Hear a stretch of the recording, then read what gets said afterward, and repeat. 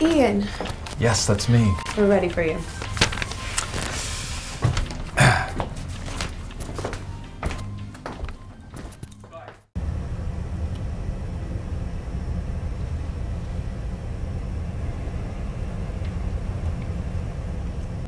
Okay, please state your name.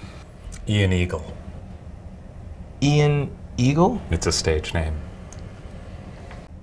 Okay. Well, hi, Ian Eagle.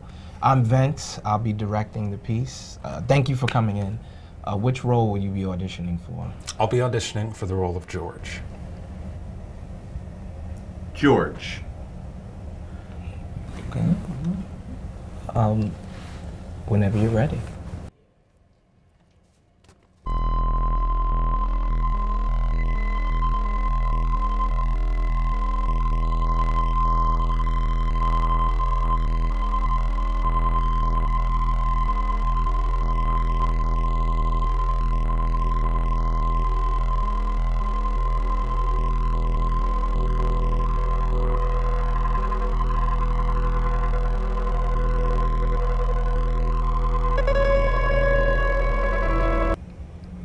Ian?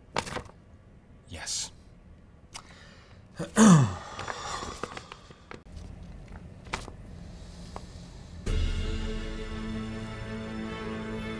What's the matter? What's the matter with you, boy? T-Bone shrugs and says nothing. T-Bone. You got wax in those big ass elephant ears of yours? Why don't you be a man and explain your yourself? Asshole, do you know who you're speaking to? Nobody. Yeah.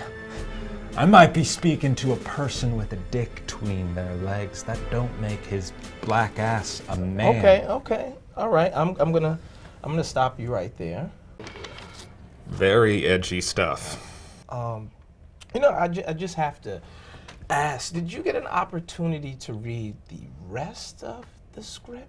Uh, no, the um, lady at the front desk just had th these pages and uh, no breakdown or.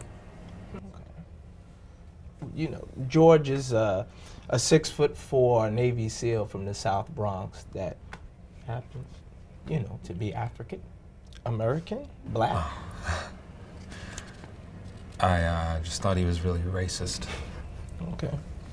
Make that makes complete sense, I guess. Um, we'll we'll call you. Right? We have your stuff.